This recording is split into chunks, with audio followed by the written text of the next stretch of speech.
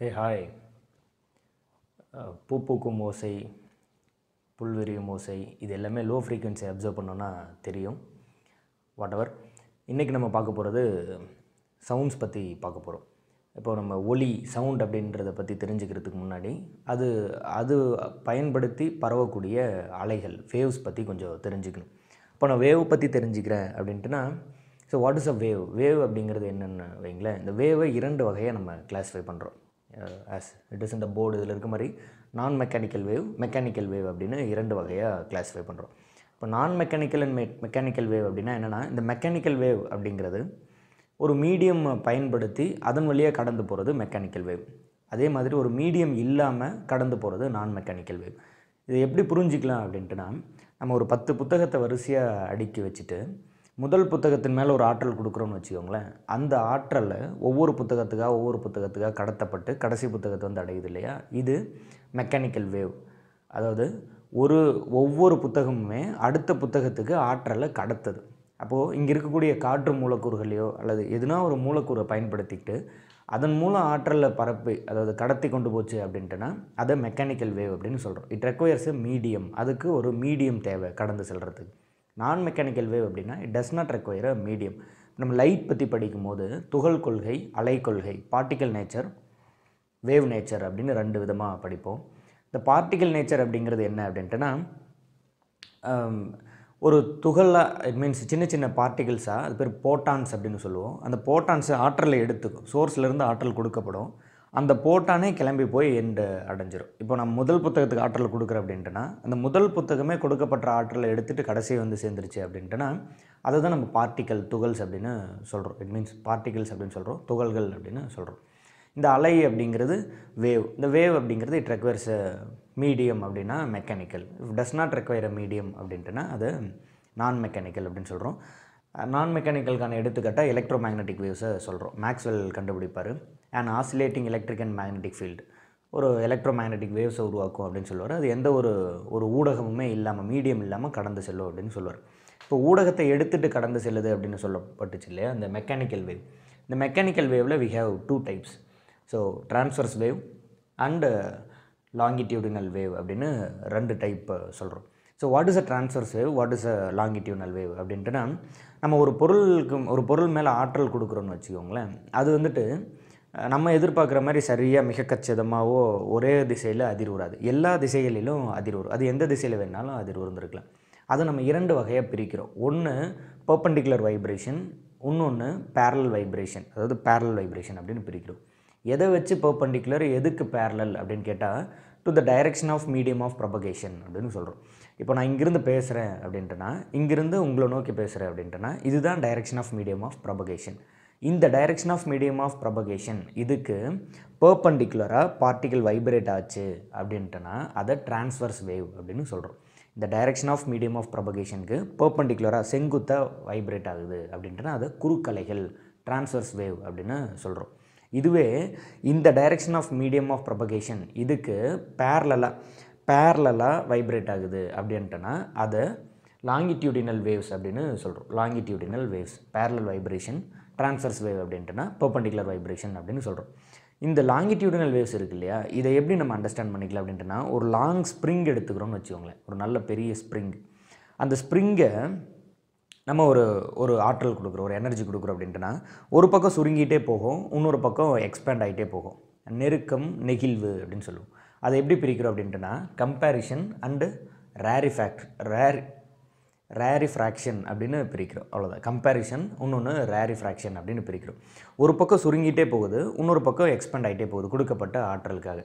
இந்த இந்த விதம் இந்த மாதிரியான ஒரு டிரான்ஸ்மிஷனை தான் நம்ம வந்துட்டு லாங்கிடியூனல் அப்படின்னு சொல்கிறோம் பேரலான வைப்ரேஷன் அப்படின்னு சொல்கிறோம் இதை இந்த மாதிரியான அலைகளை வச்சு நம்ம அண்டர்ஸ்டாண்ட் பண்ணிக்கிறது கொஞ்சம் கடினமாக இருக்கும் அப்படிங்கிறதுனால இந்த கம்பேரிசனை எப்படி எடுத்துக்கிறோம் அப்படின்ட்டுனா க்ரஸ்ட் அப்படின்ட்டுனும் இதே ரேரிஃப்ராக்ஷன் இந்த நெகிழ்வு இருக்கு இல்லையா இதை ட்ரஃப் அப்படின்னும் எடுத்துக்கிறோம். ஸோ க்ரஸ்ட்டு ட்ரஃப் அப்படின்னு இரு வகையாக பிரித்து ஒரு சைன் வேவ் மாதிரியான ஒரு ஸ்ட்ரக்சர் கொடுக்குறோம். ஆனால் ஆக்சுவலாக அது எப்படி ட்ராவல் ஆயிருக்கு அப்படின்ட்டுனா ஒரு லாங் ஸ்ப்ரிங் எடுத்து அதில் நம்ம ஒரு ஆற்றல் கொடுத்தோம் ஒரு அதிர்வு கொடுக்குறோம் அப்படின்ட்டுனா ஒரு பக்கம் சுருங்கிட்டே போகும் இன்னொரு பக்கம் எக்ஸ்பெண்ட் ஆகிட்டே போகும். அந்த மாதிரியான ஒரு ஒரு விஷயம் தான் இந்த லாங்கிட்யூனல் வேவ்ஸில் நடக்குது.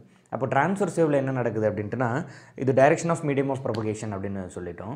இந்த டைரக்ஷன் ஆஃப் மீடியம் ஆஃப் ப்ரொபகேஷனுக்கு பர்பண்டிகுலராக வைப்ரேட் ஆயிருக்கும் இப்போ பர்பண்டிகுலராக வைப்ரேட் ஆயிருக்கு அப்படின்ட்டுனா அப் அண்டு டவுன் இந்த மாதிரி பர்பண்டிகுலராக வைப்ரேட் ஆயிருக்கும் வாட் ஓவர் பர்பண்டிகுலர் வைப்ரேஷன் அப்படின்னு சொல்கிறோம் ஸோ அது இங்கே பார்த்தாலே தெரியும். பர்பண்டிகுலர் வைப்ரேஷன் அப்படின்னு சொல்லிடும். இப்போது இந்த பர்பண்டிகுலர் வைப்ரேஷன் பேரலல் வைப்ரேஷன் இதெல்லாம் பார்க்கும்போது இதில் ரொம்ப முக்கியமாக நம்ம தெரிஞ்சுக்க வேண்டியது we have three different type of states matter அப்படின்றது ஒரு மூணு விதமான நிலைகளில் எக்ஸிஸ்ட் ஆகுது.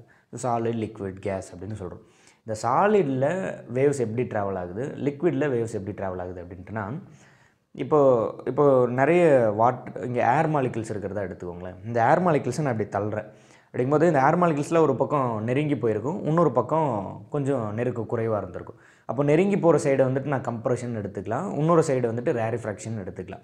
இப்போ நான் ஒரு ஸ்டிங்கை இழுத்து விடுறேன் அப்படின்ட்டு அந்த மியூசிக்கல் ஸ்ட்ரிங்ஸ் எல்லாம் இருக்கு இல்லையா அதை இழுத்து விடுறோம் அப்படின்ட்டுனா அது இதை சுற்றி இருக்கக்கூடிய காற்று மூலக்கூறுகளை வேறு ஏதோ ஒரு பக்கம் தள்ளுது. அப்போது அது ஒரு பக்கத்தில் அடர்த்தி அதிகமாகும் இன்னொரு பக்கத்தில் அடர்த்தி குறைவாக இருக்கும். ஆப்வியஸ்லி கம்பேர் கம்ப்ரெஷனும் ரேரிஃப்ராக்ஷனும் உருவாகுது.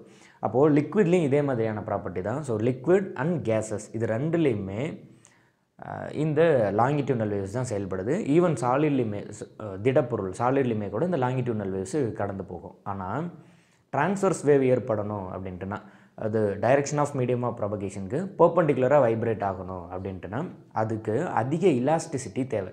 அது பேர் நம்ம ஷியர் ஸ்ட்ரென்த் அப்படின்னு சொல்கிறோம் ரொம்ப நெருக்கமாக டென்சிட்டி அதிகமாக இருக்குது அப்படின்னா தான் அந்த இடத்துல ரொம்ப ஈஸியாக நம்மளால் இந்த ட்ரான்ஸ்வர்ஸ் வைப்ரேஷனை உருவாக்க முடியும். மீன்ஸ் பர்பண்டிகுலர் வைப்ரேஷனை உருவாக்க முடியும். அதனால இந்த ட்ரான்ஸ்வர்ஸ் வைப்ரேஷன் அப்படின்றது சாலிடில் மட்டும்தான் உருவாகுது. ஸோ அது லிக்விட்ஸ்லேயும் கேஸஸ்லேயும் ட்ரான்ஸ்வர்ஸாக வேவ்ஸு கடந்து போகிறது கிடையாது. இதில் ஒரு கன்ஃபியூஷன் இருக்கக்கூடாது. என்ன அப்படின்ட்டுனா இந்த எலக்ட்ரோ மேக்னெட்டிக் வேவ்ஸ் அதாவது நான் மே மெக்கானிக்கல் வேவ்ஸ் அப்படிங்கிறது வேறு. அது ட்ரான்ஸ்ஃபர்ஸ் வேவ்ஸாக தான் கடந்து போகும்.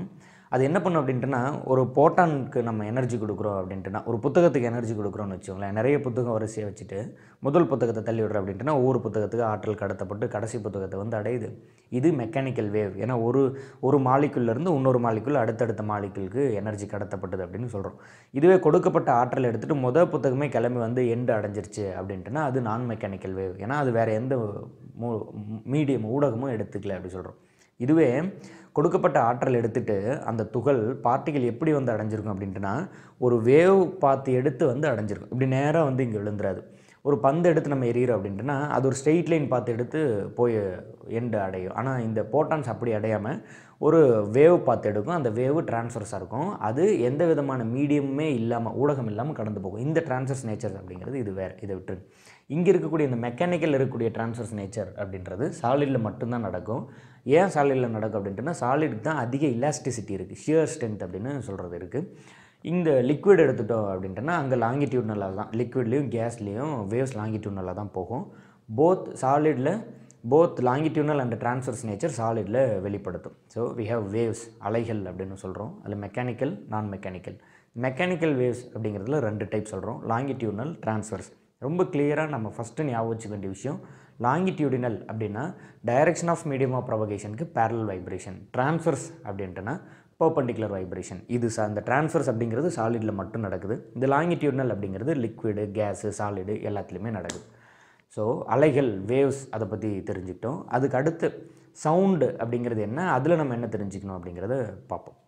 இப்போது வேவ்ஸ் அப்படின்றத பற்றி பார்த்தோம். இந்த வேவ்ஸில் தெரிஞ்சுக்கிட்டோம் அப்படின்ட்டுனா இதை சவுண்டோட ரிலேட் பண்ணி சவுண்ட் அப்படிங்கிறத பற்றி நம்ம என்ன தெரிஞ்சுக்கணும் அப்படின்ட்டுனா ஃபஸ்ட்டு தெரிஞ்சுக்க வேண்டியது sound is a wave sound அப்படிங்கிறது ஒரு அலையத்தை பரவுது. It is a mechanical wave நம்ம மெக்கானிக்கல் நான் மெக்கானிக்கல் அப்படின்னு ரெண்டாக பிரிச்சோம் இல்லையா? அந்த வகையில் இது ஒரு மெக்கானிக்கல் வேவ் அதாவது ஊடகம் இருந்தால் தான் இந்த சவுண்டு கடந்து போகும். நிலவில் போய் பேசணும் அப்படின்ட்டுனா நம்ம பேசுகிறது எதிரில் இருக்கவங்களுக்கு கேட்காது. ஏன்னா அங்கே காற்று இல்லை அட்மாஸ்பியர் இல்லை. அதனால அந்த ஊடகம் இல்லாததுனால சவுண்டாக ஒரு இடத்துல இன்னொரு இடத்துக்கு கடந்து போக முடியாது. அப்போ sound is a mechanical wave இதில் லாங்கிட்யூட்னலாக ட்ரான்ஸ்ஃபர்ஸா அப்படின்னு கேட்டால் sound can can travel as a longitudinal அப்படி இல்லை அப்படின்ட்டுனா it can also travel as a transverse லாங்கிட்யூட்னலாகவும் கடந்து போகும் ட்ரான்ஸ்ஃபர்ஸாகவும் கடந்து போகும். இப்போ சவுண்டுங்கிறது இட் ஹேஸ் டியூவல் நேச்சர்ஸ் லாங்கிட்யூட்னலாகவும் இருக்கும் ட்ரான்ஸ்வர்ஸாகவும் இருக்கும். கண்டிப்பாக சாலிடில் கடந்து போகும்போது ட்ரான்ஸ்வர்ஸாக இருக்கலாம் அல்லது லாங்கிட்யூட்னலாக இருக்கலாம். ஆனால் லிக்விட்லேயோ கேஸஸ்லேயோ கடந்து போயிருக்கும் போது லாங்கிடியூனலாக மட்டும்தான் இருந்திருக்க முடியும். அங்கே ட்ரான்ஸ்ஃபர்ஸாக இருந்திருக்க முடியாது. இதுக்கு முன்னாடி சொல்லியிருந்தோம் இல்லையா அந்த எக்ஸ்ப்ளனேஷன் இப்போ இந்த வேவ் அப்படிங்கிறத பற்றி நம்ம என்ன தெரிஞ்சுக்கணும் அப்படின்ட்டுனா ஒரு வேவ் அப்படின்னா நம்ம இந்த மாதிரியான ஒரு ஸ்ட்ரக்சர் ஞாபகம் வச்சுருந்துருப்போம் இல்லையா? அந்த லாங்கிட்யூனல் வேவ் பொறுத்தவரையில் லாங்கிட்யூனல் வேவ்ஸை பொறுத்தவரையில் கம்ப்ரெஷனையும் ரேரிஃப்ராக்ஷனையும் தான் நம்ம க்ரஸ்ட் அண்ட் ட்ரஃப்பாக உருவாக்கியிருக்கோம். அகடு முகடு அப்படின்னு படிக்கக்கூடிய க்ரஸ்ட் அண்ட் ட்ரஃப்ஸாக உருவாக்கியிருக்கோம். டிரான்ஸ்வர்ஸ் வேவில் தான் நேச்சுரலாகவே பார்ட்டிக்கிள் வந்துட்டு பர்பண்டிகுலர் வைப்ரேஷனை ஏற்படுத்துது. இப்போது இந்த இந்த ஒரு வேவ் எடுத்துக்கிறோம் அப்படின்ட்டுனா இந்த வேவில் ரெண்டு க்ரஸ்ட்டுக்கோ அல்லது ரெண்டு ட்ரஃபுக்கோ இருக்கக்கூடிய மேக்ஸிமம் டிஸ்டன்ஸை ரெண்டு க்ரஸ்ட்டுக்கோ அல்லது ரெண்டு ட்ரஃபுக்கோ இருக்கக்கூடிய மேக்ஸிமம் டிஸ்டன்ஸை நம்ம என்ன சொல்லிடுறோம் அப்படின்ட்டுனா வேவ் லென்த் அப்படின்னு சொல்கிறோம் அது குறிக்கப்படுற சிம்பிள் வந்துட்டு லேம்டா அப்படின்னு சொல்கிறோம் இந்த இடத்துல இந்த பார்ட்டிகல் இதில் இருக்கக்கூடிய பார்ட்டிகல்ஸு அடைஞ்சிருக்க மேக்ஸிமம் டிஸ்பிளேஸ்மெண்ட் இருக்கு இல்லையா? அதிகபட்ச உயரம். அதை ஆம்ப்ளிடியூடு வீச்சு அப்படின்ற வார்த்தையால் குறிக்கிறோம். So this is the amplitude இங்கே இருக்கிறது நம்ம வேவ் லென்த் அப்படின்னு சொல்கிறோம் இது இல்லாமல் நம்ம அதிர்வெண் ஃப்ரீக்வன்சி அப்படின்னு ஒரு வார்த்தையை கேள்விப்பட்டுகிட்டே இருந்திருப்போம். அப்போ வாட் இஸ் ஃப்ரீக்வன்சி அப்படின்ட்டுனா அதுக்கு முன்னாடி டைம் பீரியட் அப்படின்னு ஒன்று நம்ம தெரிஞ்சுக்கணும். ஒரு டைம் பீரியட் ஒரு வேவோட டைம் பீரியட் அப்படிங்கிறது என்ன அப்படின்ட்டுனா ஒரு க்ரஸ்ட்டையும் ஒரு ட்ரஃபையும் கம்ப்ளீட் பண்ணி வருது இல்லையா? இந்த ஒன் சைக்கிள் இந்த ஒன் சைக்கிளுக்கு இது எடுத்துக்கிற நேரம் இருக்குல்ல அதுதான் time period so to complete a crest and a trough ஒரு க்ரஸ்ட்டு ஒரு ட்ரஃப் ஏற்படுறதுக்கு எவ்வளோ நேரம் எடுத்துக்குதோ அது time period time for one oscillation அப்படின்னு சொல்கிறோம் அப்போது ஒரு செகண்டில் எத்தனை ஆசிலேஷன்ஸை கம்ப்ளீட் பண்ணுதோ அதுதான் frequency so make it clear frequency அப்படின்னு சொல்கிறோம் ஃப்ரீக்வன்சினா என்னென்னா டைம் பீரியட் அண்டர்ஸ்டாண்ட் பண்ணிட்டு வரும் டைம் பீரியட் அப்படிங்கிறது என்ன அப்படின்ட்டுனா ஒரு க்ரஸ்ட்டு ஒரு ட்ரஃப் முடிக்கிறதுக்கு எவ்வளோ நேரம் எடுத்துக்குதோ அது டைம் பீரியட் ஸோ இந்த சென்ஸ் ஃப்ரீக்வன்சி அப்படிங்கிறது என்ன அப்படின்ட்டுனா ஒரு செகண்டில் எத்தனை ஆசிலேஷன்ஸை கம்ப்ளீட் ஆசிலேஷன்ஸை கம்ப்ளீட் பண்ணுதோ அதை தான் நம்ம ஃப்ரீக்வன்சி அப்படின்னு சொல்கிறோம் ஸோ ஆப்வியஸ்லி ஃப்ரீக்வன்சி அப்படிங்கிறது ஒன் பை டி அப்படின்னு நம்ம சொல்லலாம். ஒன்று பை காலம் அப்படின்னு சொல்கிறோம் ஏன்னா ஒரு செகண்டுக்குள்ளே எத்தனை ஆசிலேஷன்ஸை முடிச்சுது அப்படிங்கிறது தான் ஃப்ரீக்வன்சி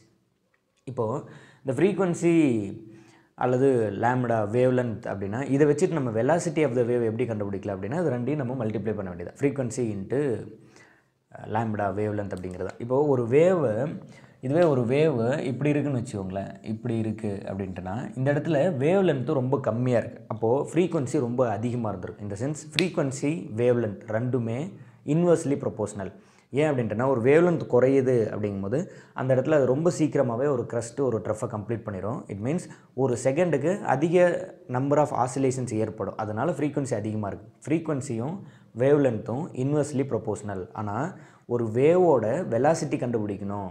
எவ்வளோ தூ எவ்வளோ வேகமாக அந்த வேவ் கடந்து போயிருக்கு அப்படின்னு கண்டுபிடிக்கணும் அப்படின்ட்டுனா அதுக்கு நம்ம பயன்படுத்துறது என்ன அப்படின்ட்டுனா அதோட ஃப்ரீக்வன்சி என்ன? ஒரு செகண்டுக்கு எத்தனை ஆசிலேஷன்ஸை கம்ப்ளீட் பண்ணிச்சு?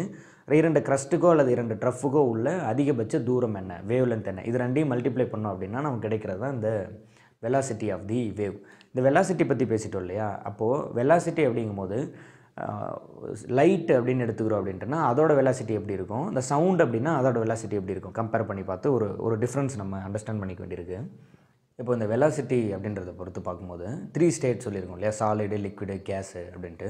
இப்போ இந்த சாலிடு எடுத்துக்கிறோம் அப்படின்ட்டுனா அங்கே டென்சிட்டி ரொம்ப அதிகமாக இருக்கும் ஆஸ் வி நோ ஏன்னா ஒரு ஒரு கிலோ கல்லுக்கும் ஒரு லிட்டர் தண்ணிக்குமான இடத்தை பார்க்குறீங்க இல்லையா? அப்போ ஒரு கிலோ கல் ரொம்ப சின்ன இடத்துலயே ஆக்குப்பை பண்ணிக்குது இல்லை மீன்ஸ் அங்கே டென்சிட்டி ரொம்ப அதிகம். மூலக்கூறுகள் ரொம்ப நெருக்கமாக ப்ளேஸ் பண்ணப்பட்டிருக்கு. இது லிக்விட் எடுத்துக்கிறோம் அப்படின்ட்டுனா அங்கே டென்சிட்டி கொஞ்சம் கம்மி. கேஸ்னு எடுத்துக்கிறோன்னா டென்சிட்டி இன்னும் கம்மி. அது மாதிரி இருக்குது இப்போது டென்சிட்டி அதிகமான பொருளில் சவுண்டு என்ன பண்ணலாம் அப்படின்னா ஒரு பொருள்லேருந்து இன்னொரு பொருளுக்கு ஆற்றலை கடத்துறது ரொம்ப சுலபமாக இருக்கும். ஓகே மேக் இட் கிளியர் ஒரு பொருள்லேருந்து இன்னொரு புத்தகத்தை எல்லாம் ரொம்ப நெருக்கமாக அடுக்கி வச்சிருக்கு அப்படின்ட்டுனா மொதல் புத்தகத்தை தள்ளி விடும்போது அடுத்தடுத்த புத்தகங்களுக்கு ஆற்றல் மாறி போகிறது ரொம்ப சுலபமாக இருக்கும். இதுவே புத்தகங்கள் ரொம்ப தூரம் தூரமாக அடுக்கி வைக்கப்பட்டிருக்கு அப்படின்ட்டுனா ஒரு பொருள்லேருந்து ஆற்றல் இன்னொரு பொருளுக்கு கடத்தப்படுறது ரொம்ப கொஞ்சம் கடினமாக இருக்கலாம். ஃபாலோட் பை தட் அதை விட கேஸ் அப்போது ஒரு ஊடகத்தை பயன்படுத்தி மீடியமை பயன்படுத்தி சவுண்டு சவுண்டு வேவ் கடந்து போகிறதுனால ஒளி சாலிடில் ரொம்ப அதிகமான வேகத்துலேயும் அதை விட குறைவான வேகத்தில் லிக்விட்லேயும் அதை விட குறைவான வேகத்தில் கேஸ்லேயும் வேக்கமில் கடந்து போகாமலும் ஏன்னா இங்கே எந்த ஒரு ஒரு மீடியமும் இல்லாததுனால வேக்கமில் கடந்து போகாமலும் இருக்கும். இதுவே லைட் அப்படின்னு எடுத்துக்கிறோம் அப்படின்ட்டுனா இந்த லைட்டு சாலிடில் தான் குறைவான வேகத்தில் இருக்கும். லிக்விடில் அதை விட கொஞ்சம் வேகம் அதிகம். கேஸில் அதை விட இன்னும் அதிகம். வேக்கமில் தான் மேக்ஸிமம் ஸ்பீடு இந்த மேக்ஸிமம் ஸ்பீடு அப்படிங்கிறது தான் three into ten to the power of eight metre per second இந்த மேக்ஸிமம் ஸ்பீட் அப்படிங்கிறது தான் three into ten to the power of eight metre per second அப்படின்னு சொல்கிறோம் இது ஏன் அப்படின்ட்டுனா நம்ம என்ன சொன்னோம் அப்படின்ட்டுனா இந்த மொத புத்தகத்துக்கு ஒரு ஆற்றல் கொடுக்குறேன் இந்த புத்தகமே எழுந்து ஒரு டிரான்ஸ்ஃபர்ஸ் வேவ் ஸ்ட்ரக்சரில் போய் எண்டு அடைஞ்சிருது அப்படின்னு சொல்கிறோம் அப்படின்ட்டுனா இப்போ இதுவே எழுந்து போகுது. அதாவது இந்த இந்த கொடுக்கப்பட்ட ஆற்றலை இதுவே கேரி பண்ணிட்டு போகுது அப்படின்ட்டுனா இதுக்கு குறுக்க யாரும் தடுக்காமல் இருந்தாலே போதும். இது ரொம்ப வேகமாக வந்து எண்டு அடைஞ்சிரும். சரியா புரியுதா? ஏன்னா இது அடுத்தடுத்த மூலக்கூறுகளுக்கு ஆற்றலை மாற்ற போகிறதில்ல தானே கிளம்பி வந்து எண்டை தொட போகுது. குறுக்க யாரும் தடுக்காமல் இருந்தாலே போதும். இப்போ டென்சிட்டி அதிகமாக இருக்குது அடர்த்தி அதிகமாக இருக்குது அப்படின்ட்டுனா இது கடந்து வரதை நிறைய பேர் தடுக்க போகிறாங்க மீன்ஸ் மூலக்கூறுகள் இடையான இடைவெளி ரொம்ப குறைவாக இருக்குது அதனால் இது ரொம்ப சுலபமாக கடந்து வர முடியாது. அதனால சாலிடில் மிக குறைவான வேகம். அதை கம்பேர் பண்ணும்போது லிக்விடில் டென்சிட்டி கொஞ்சம் குறைவு. அதனால் லிக்விடில் இன்னும் கொஞ்சம் வேகமாக வந்துடும் கேஸில் அதை விடவும் டென்சிட்டி குறைவு. வேக்கமில் சுத்தமாக அந்த டென்சிட்டி இல்லை. எம்டி ஸ்பேஸு அதனால் கொடுக்கப்பட்ட ஆற்றல் அப்படியே உள்வாங்கிட்டு ரொம்ப சுலபமாக ஒரு டிரான்ஸ்ஃபர் ஸ்ட்ரக்சரில் வந்து எண்டை தொற்றும் அப்போது இந்த லைட்டை பொறுத்தவரையில் வேக்கமில் தான் மேக்ஸிமம் ஸ்பீடு சவுண்டை பொறுத்தவரையில் சாலிட் திண்மம் அங்கே தான் மேக்ஸிமம் ஸ்பீடு ரொம்ப கிளியராக நம்ம அண்டர்ஸ்டாண்ட் பண்ணிக்க வேண்டிய விஷயம் வெலாசிட்டியை பொறுத்து. அது இல்லாமல் ஒரு இஃபெக்ட் ஒன்று இருக்குது ரொம்ப ரொம்ப அதிகமாக பயன்படுத்தப்படுறது. அப்ளிகேஷன் ஓரியன்டான விஷயம் அப்படின்ட்டுனா டோப்ளர் எஃபெக்ட் அப்படின்னு சொல்கிறோம் இந்த டோப்ளர் எஃபெக்ட் அப்படிங்கிறது ஒன்றும் இல்லை. என்ன அப்படின்ட்டுனா ஒரு சோர்ஸ் சத்தத்தை உற்பத்தி பண்ணுது. அங்கே இருக்கக்கூடிய ஃப்ரீக்வன்சி தான் நம்ம ஆக்சுவல் ஃப்ரீக்வன்சி அங்கே தான் உருவான ஃப்ரீக்வன்சி அப்படின்னு சொல்கிறோம் அப்சர்வர் ஒருத்தன்னு கேட்டுட்ருக்கான்னு வச்சுக்கோங்களேன். அதுதான் அப்சர்வர் அவங்ககிட்ட வந்து சேரும்போது ஃப்ரீக்வன்சி மாறி இருக்கும் அந்த மாறப்பட்ட ஃப்ரீக்வன்சி அப்பேரண்ட் ஃப்ரீக்வன்சி அப்படின்னு சொல்லிடுறோம். இப்போது இந்த சோர்ஸுக்கும் அப்சர்வருக்கும் நடையில் இடை இடையில் இடைவெளி குறைஞ்சிது அப்படின்ட்டுனா மேபி இந்த சோர்ஸ் அப்சர்வர் நோக்கி வந்தாலோ அல்லது இந்த அப்சர்வர் சோர்ஸை நோக்கி போனாலோ இந்த அப்பேரண்ட் ஃப்ரீக்வன்சி வந்து அடைஞ்சது இல்லையா ஒரு ஃப்ரீக்வன்சி அதிலிருந்துட்டு இன்க்ரீஸ் ஆக ஆரம்பிச்சிடும் இந்த அப்பேரண்ட் ஃப்ரீக்வன்சி இன்க்ரீசஸ் இதுவே இந்த சோர்ஸுக்கும் அப்சர்வருக்கும் நடுவில் இடைவெளி அதிகரிச்சுது அப்படின்ட்டுனா ஒன்று சோர்ஸ் இவரை விட்டு விலகி போனாலோ அல்லது அப்சர்வர் இந்த சோர்ஸை விட்டு விலகி போனாலோ அப்பேரண்ட் ஃப்ரீக்வன்சிலிருந்து அப்பேரண்ட் ஃப்ரீக்வன்சி குறைய ஆரம்பிச்சிடும் வந்து அடையும் போது ஒரு ஃப்ரீக்வன்சி இருந்திருக்கும் இல்லையா? ஆக்சுவல் ஃப்ரீக்வன்சிலிருந்து கடந்து வந்து அப்சர்வர் அடைஞ்சிருக்கும். அதுக்கப்புறம் இருக்க ஃப்ரீக்வன்சி அப்படியே குறைஞ்சிட்டே வந்துடும் அப்பேரண்ட் ஃப்ரீக்வன்சிலிருந்து குறையும் டிக்ரீசஸ் இதே இந்த ரெண்டு பேத்துக்கு நடுவில் டிஸ்டன்ஸ் குறையும் போது அப்பேரண்ட் ஃப்ரீக்வன்சி இன்க்ரீசஸ் அவ்வளோதான் இது ரொம்ப டெஃபினேஷனாக பெரிய அப்படியே அது இது அப்படிலாம் சொன்னாலும் கூட ரொம்ப சிம்பிள் தான். ஒரு பஸ்ஸு ஹாரன் அடிச்சுட்டே நம்மளை நோக்கி வந்துட்டுருக்கு அப்படின்ட்டுனா முதல்ல கேட்ட ஹாரன் சத்தத்தை விட அந்த பஸ்ஸு கிட்ட வர வர ஹாரன் சத்தம் ரொம்ப அதிகமாக கேட்கும். ஓகே அந்த bus as it approaches closer ரொம்ப கிட்ட வர வர ஹாரன் சவுண்டு அதிகமாக கேட்கும். அதுவே நம்மளை கடந்து போகுது அப்படின்ட்டுனா கடந்து போகும்போது இம்மீடியட்டாக பக்கத்தில் இருக்கும்போது அடித்த ஹாரன் சத்தத்தை விட கொஞ்சம் தூரம் போனதுக்கப்புறம் அடிக்கிற ஹாரன் சத்தம் கம்மியாக இருக்கும். அவ்வளோதான் அதுதான் நம்ம அப்பேரண்ட் ஃப்ரீக்வன்சி ஆக்சுவல் ஃப்ரீக்வன்சி அப்படி இப்படின்னு எல்லாம் ஸ்ப்ளிட் பண்ணி சொல்கிறோம் இதே டோப்ளர் எஃபெக்டை வச்சுட்டு தான் ஒரு போலீஸ் ஆஃபீஸர் பைக்கில் நம்ம ஓவர் ஸ்பீட் பண்ணாவோ காரில் ஓவர் ஸ்பீட் பண்ணாவோ கண்டுபிடிக்கிறாரு. இதே டோப்ளர் எஃபெக்டை வச்சுட்டு தான் நம்ம பிளட் வெசல்ஸில் பிளட்டு கடந்து போகிறத கண்டுபிடிக்க முடியும். ஏர்க்ராஃப்ட்டுக்கு நம்ம கைட்லைன்ஸ் கொடுக்கலாம். இந்த மாதிரி நிறைய ப்ராக்டிக்கலான அப்ளிகேஷன்ஸ் நிறைய இருக்குது ஸோ சவுண்ட் அப்படிங்கிறது ஒரு வேவ் அந்த வேவில் வி ஹேவ் சம் டைப்ஸ் அந்த டைப்ஸில் லாங்கிடியூனால ட்ரான்ஸ்வர்ஸ்னா என்ன? So what it is related to sound அப்படிங்கும்போது என்ன அப்படிங்கிறத பார்த்தோம். இதுலேயே ஆம்ப்ளிடியூட்னு ஒன்று பார்த்தோம். ஃப்ரீக்வன்சின்னு ஒன்று பார்த்தோம் இல்லையா? நம்ம கூட வீட்டில் எல்லாம் ஆம்ப் வச்சுருக்கேன் அப்படின்னு சொல்லுவோம்ல. ஸோ தட் இஸ் ஆம்ப்ளிடியூட் அப்படிங்கிறது? தான் it is related to volume amplitude அதிகப்படுத்துகிறோம் அப்படின்ட்டுனா அது வால்யூம் அதிகப்படுத்துகிறோம் அப்படின்னு அர்த்தம். பிச் அப்படின்னு ஒன்று சொல்கிறோம் இல்லையா?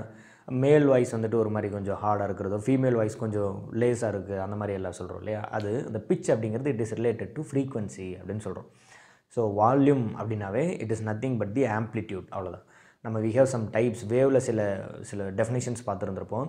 Maybe wave length frequency amplitude இந்த மாதிரி பார்த்துருந்துருப்போம். அதில் ஆம்ப்ளிடியூட் அப்படிங்கிறது it is nothing but the volume frequency அப்படிங்கிறது பிச் அப்படின்னு சொல்கிறோம் இது இல்லாமல் முத முதல்ல சவுண்ட் ரெக்கார்டர் கண்டுபிடிச்ச எடிசனில் இருந்துட்டு இன்றைக்கி நம்ம பயன்படுத்துகிற அட்வான்ஸ்டு டெக்னாலஜியான இந்த சவுண்ட் நேவிகேஷன் சோனார் அது இல்லாமல் radio ranging radio detection and ranging சொல்கிறோம் இல்லையா? ரேடார் இந்த மாதிரி நிறைய ஏன் ஈவன் சவுண்டோட ஸ்பீடில் ட்ராவல் பண்ணக்கூடிய ஏரோப்ளைன்ஸ் கூட நம்ம கண்டுபிடிச்சி வச்சுருக்கோம். அந்தளவு ரொம்ப அட்வான்ஸ்டாக சவுண்டு அடுத்தடுத்த டெக்னாலஜிக்கு எடுத்துகிட்டு வந்துட்டோம். நிறைய இருக்குது அட்வான்ஸ்டு டெக்னாலஜிஸ் எல்லாம். பட் பேசிக் கான்செப்ட்ஸ் நம்ம ரொம்ப கிளியர் ஆகிட்டோம் அப்படின்ட்டுனா இதிலிருந்து அடுத்தடுத்து கற்றுக்கிறது ரொம்ப ஈஸியாக இருக்கும். Keep supporting yes thank you